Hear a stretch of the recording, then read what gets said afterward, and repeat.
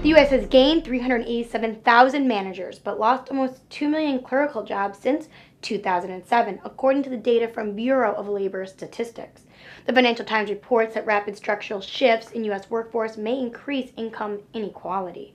The median household income has fallen 5.6% since June 2009 to 51,404. New computing technologies have limited the need for number of bookkeepers, tellers, data entry keyers, file clerks, and typists. The number of retail cashiers has also dropped. Growth has occurred in skilled positions such as home healthcare aides, while production-based jobs have declined.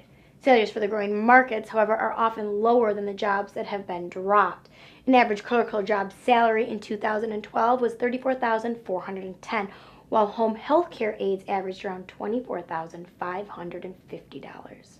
CNBC is reporting that corn prices have fallen 6.5% this week due to a government report that indicated higher corn supplies than the industry anticipated.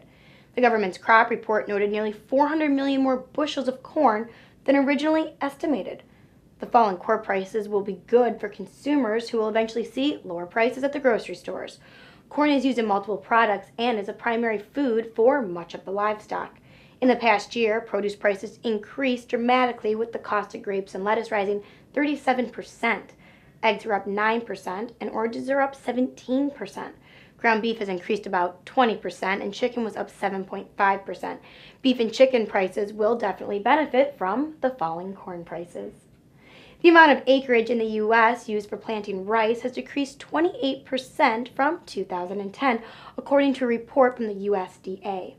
This year will have the lowest level of rice planting since 1987. The Wall Street Journal indicates that with fewer U.S. farmers planting rice, cereal makers like Kellogg's or candy makers like Mars will be forced to look elsewhere for supplies. U.S. rice prices have not kept up with corn and soybean prices, which broke records last year due to the drought. The U.S. ranked number 12 in the world for rice output, but the largest exporter in the Western Hemisphere.